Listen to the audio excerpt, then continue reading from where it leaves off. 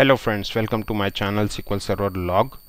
So today we are going to see how to resolve memory issues related to SQL Server instance.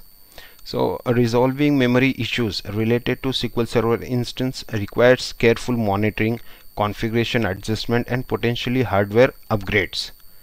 Memory related problems in SQL Server can manifest as performance degradation, slow query execution or even server crashes.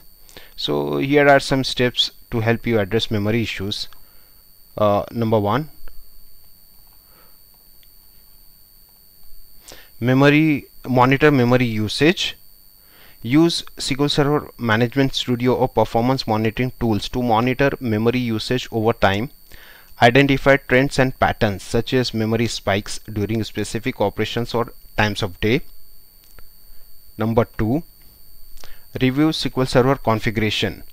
Ensure that SQL Server's max server memory setting is properly configured. This setting controls how much memory SQL Server can use. Be cautious not to allocate too much memory to SQL Server as this can lead to memory contentions with other applications on the server. So I will show you in SQL Server Management Studio okay so you have this instance for example go to properties and you have memory options here minimum server memory and maximum server mem memory to configure. So uh, uh, for this I have uh, created a different uh, video and article. So you can visit there for example uh, this is the article on my website configure SQL Server memory to optimize performance and there are different articles for performance improvement. You can visit there and also you can see my video on SQL Server log channel. Okay so now coming back to uh, our point. So we have seen uh, review SQL Server configuration. Number three check for memory intensive queries. Review query execution plans and identify queries that consume excessive memory. So you can see uh, execution plans of the queries uh, to check memory issues and optimize problematic queries by adding indexes rewriting queries or using appropriate isolation levels. Next review buffer pool. Monitor the buffer pool hit ratio. A consistently low hit ratio might indicate that SQL Server is not effectively using memory. Increase max server memory if there is evidence that the buffer pool is consistently under pressure. Okay. Next is use resource governor. So consider using resource governor to allocate memory resources more efficiently among different workloads or user groups. So in SQL Server management studio for example okay so you have resource governor here. So you can enable it and configure this to resolve these issues. Now coming back to number 6 review other memory related settings. So check settings like minimum server memory min server memory lock pages in memory and optimize for ad hoc workloads for their appropriateness in your environment. Point number 7 look for external memory pressure. Use windows performance monitor to check for external memory pressures from other applications or services on the server. So you can see uh, windows has uh, this uh, performance monitor where you can set counters to check all those details. Okay a separate video is there. You can visit there and uh, check for this for performance monitor. Now point number 8 update SQL server. Ensure that you are running the latest version and patches of SQL Server.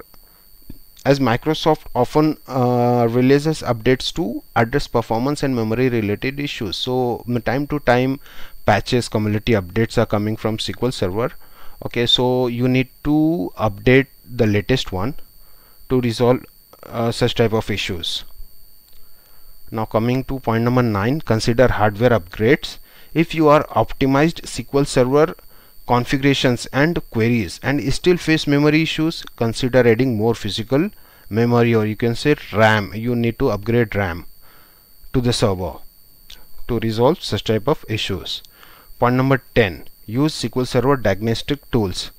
So there are uh, use SQL Server's built-in diagnostic tools like database engine tuning advisors SQL Server profiler and extended events to identify performance bottlenecks and memory issues so you can uh, use this default given uh, tools and uh, advisors profilers which are inbuilt to SQL Server uh, and uh, you can see how to resolve this. So separate videos and articles are available uh, on my channel. You can see related to this to resolve this memory issues.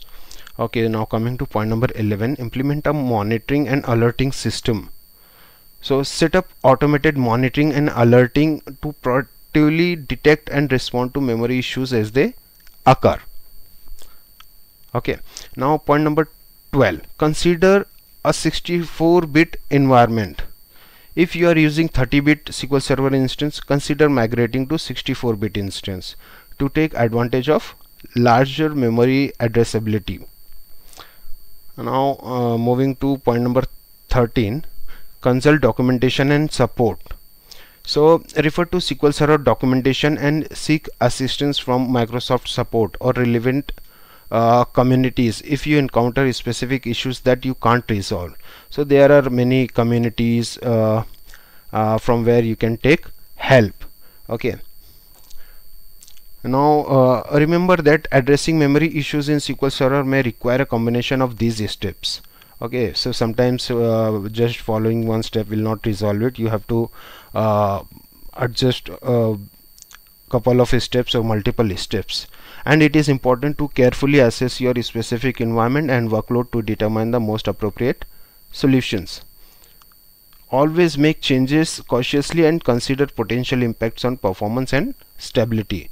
So by following all these steps uh, you can resolve memory issues into SQL Server instance. I hope you will like this uh, video and uh, these uh, uh, points will resolve your problem.